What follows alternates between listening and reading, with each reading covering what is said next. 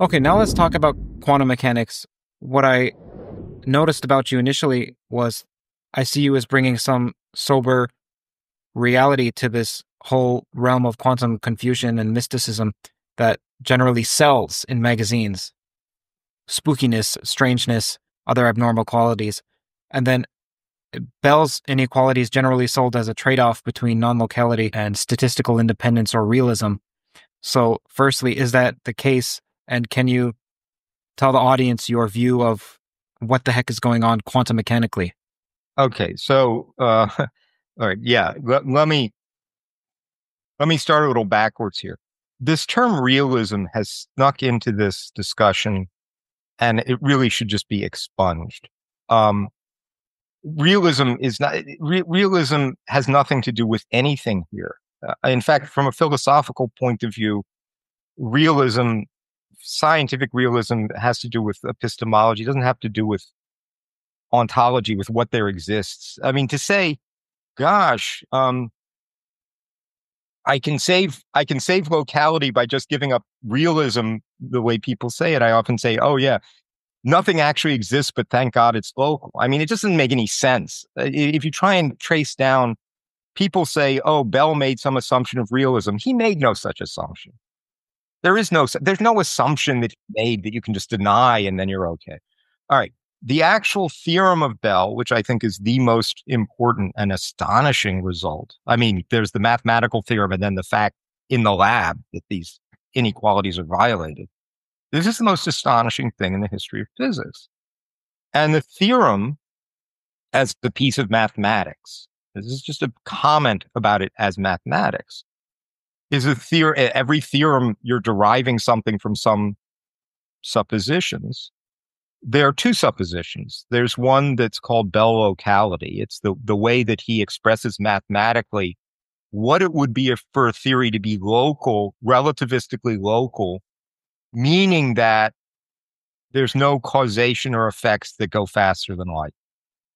That all, all of the events that can count as a cause of something happening lie in or on its past light cone, right? Nothing that would require going faster than light and and in addition it'll be relevant for, for where this goes nothing coming from the future either i mean bell's locality condition also rules out reverse causation that the future could could somehow cause things in the present so there's the locality condition and then as a mathematical fact there's a second condition that he uses in the derivation which is called statistical independence. And from these two assumptions, he derives an inequality and says, okay, if, if any theory satisfies locality and satisfies statistical independence, then there are certain constraints on the sorts of correlations you could possibly see in situations where Alice and Bob are in their labs doing experiments so far away from each other that light doesn't have time to get from one lab to the other. So there couldn't be any any effects if all effects had to go at most at the speed of light. There couldn't be any effects from what happens in Alice's lab on what happens in Bob's or vice versa. Okay. So that's the theorem. And then you go in and you see this this this inequality. I mean, first of all, you notice that quantum mechanics predicts violations of this inequality. And then you notice that you go in the lab and check, and quantum mechanics, quantum mechanical predictions are correct. Um, so you only had two suppositions from which this follows locality and statistical independence. So, as a purely logical matter, you say, well, I have to at least deny one or the other of these. Um, now, there are people who, for reasons I do not fathom, I just literally don't understand their reasons, are are so deeply committed to locality that they're looking for any escape route. I mean, that's more or less what we were talking about with these with these loopholes, with these detection loopholes, right? They don't like the idea of non-locality, and they're looking for any escape they can have from from accepting it.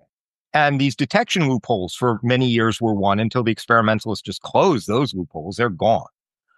Uh, so the only other loophole is they look at this and they say, well, I don't want to deny locality. I guess I have to deny statistical independence. And the problem with denying statistical independence is that it's kind of crazy and it's it's crazy and conspiratorial. And on top of it, uh, you know, as as you know, it, I've said and other people have said, it undermines all scientific method. I mean, if in order to get out of accepting non-locality, you deny what's required, assumptions that are required to do science, that's not a good deal right? That's a really bad deal.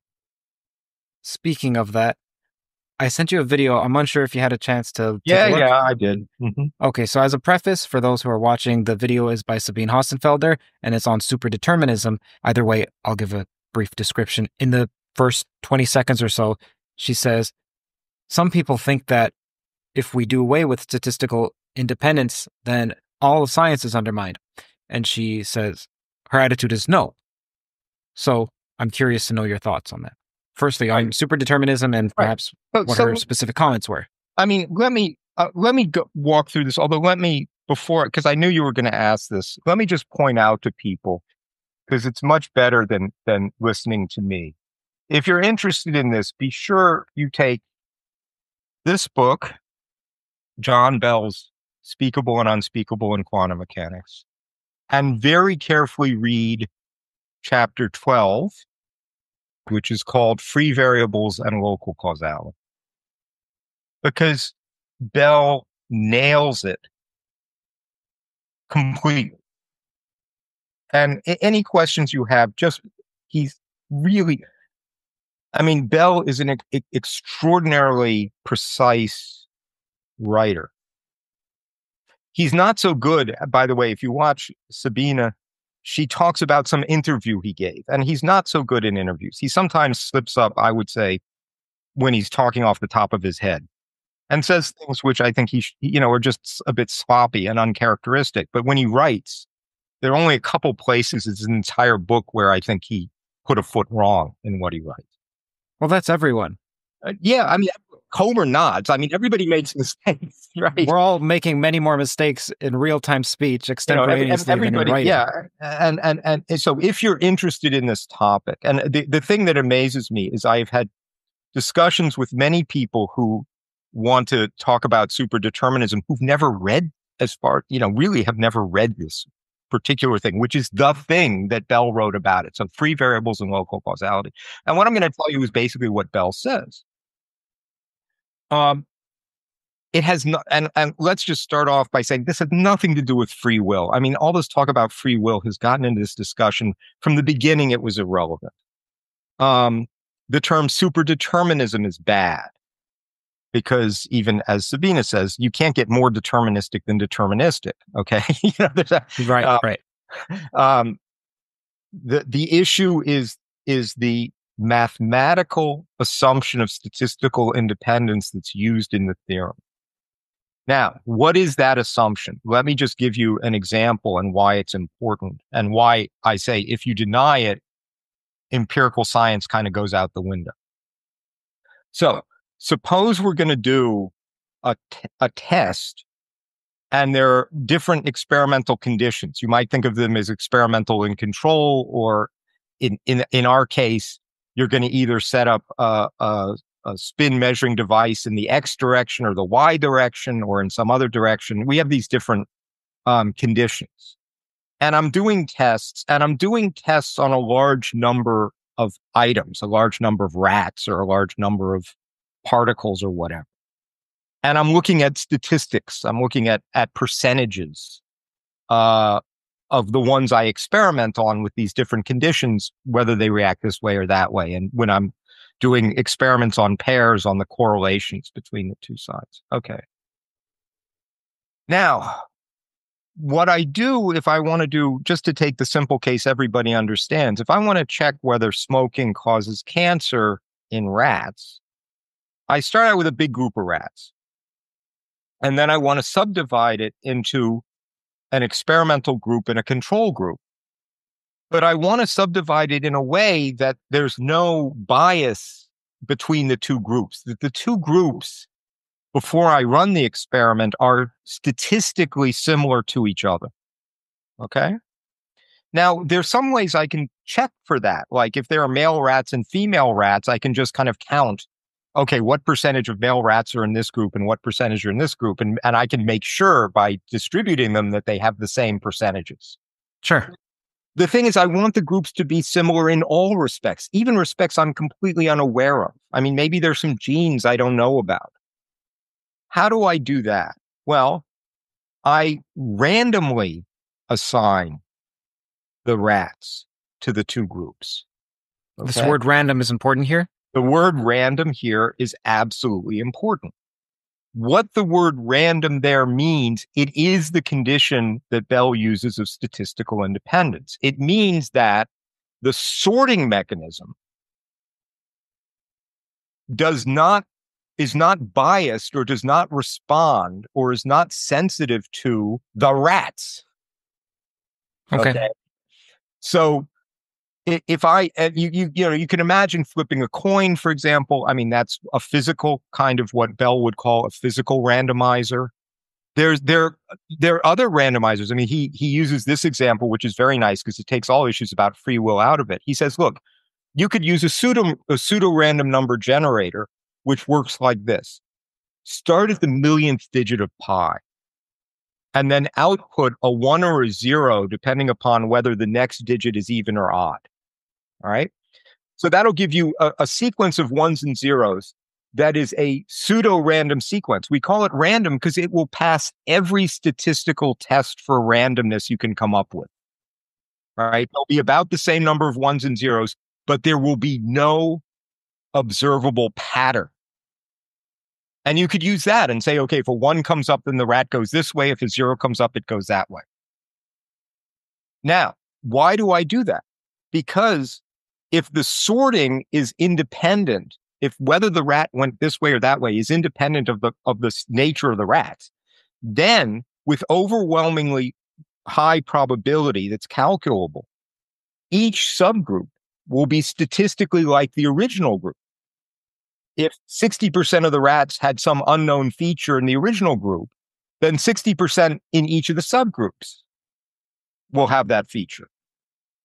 And therefore, the subgroups will be like one another. The really important thing you want is you want the statistically the subgroups to be like one another.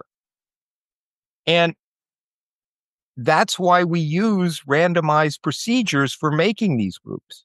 Now, if somebody says, now, uh, suppose I do this experiment with the rats, I take this big group, I randomly divide them by one of these sorting mechanisms, right? By throwing dice or by this sure, sure. randomizer or whatever into these two groups. And then I expose one to, to smoke and I treat the other the same, except I don't expose it to smoke. And then I see a lot more cancer in this group. Then we infer that the smoke caused cancer. Now, if somebody says, no, no, no, no, no, really what's going on is this some of the rats were predisposed to get cancer no matter what, and other the rats weren't. And it just turned out that the ones that were predisposed got sorted over into the ones into the smoke group, and the ones that weren't got sorted over into the other group. And so the smoking had nothing to do with it. Now, this is the kind of argument that actual lawyers for the tobacco industry used to make when they were trying to argue that scientists had not that smoking causes cancer and and obviously as a purely logical fact yes if if the sorting didn't work to make statistically similar subgroups then that could be an explanation. But then you have to go on and say i don't care how you sort. Sort any way you want. Right? Sort based on on pi sort based on uh, the number of shares of stock sold on the shot stock exchange. Sort based on anything you want. No matter how you do it, somehow the cancer prone rats are going to go this way and the non cancer prone rats are going to go that way. Now, that will, as it were, as a purely logical matter, count as, a, a, as something that would make the prediction that this group will get more cancer than that group. But we would just say this is lunacy because you have no mechanism. There's nothing, you know, you're just, you just don't like the result. Okay. You don't like the result and you don't like what the result is telling you. So you're just grasping at straws. That's all that's going on here. New update. Started a Substack. Writings on there are currently about language and ill defined concepts, as well as some other mathematical details, much more being written there. This is content that isn't anywhere else. It's not on Theories of Everything, it's not on Patreon. Also, full transcripts will be placed there at some point in the future. Several people ask me, Hey Curt, you've spoken to so many people in the fields of theoretical physics, philosophy, and consciousness. What are your thoughts? While I remain impartial in interviews, this Substack is a way to peer into my present deliberations on these topics. Also, thank you to our partner, The Economist.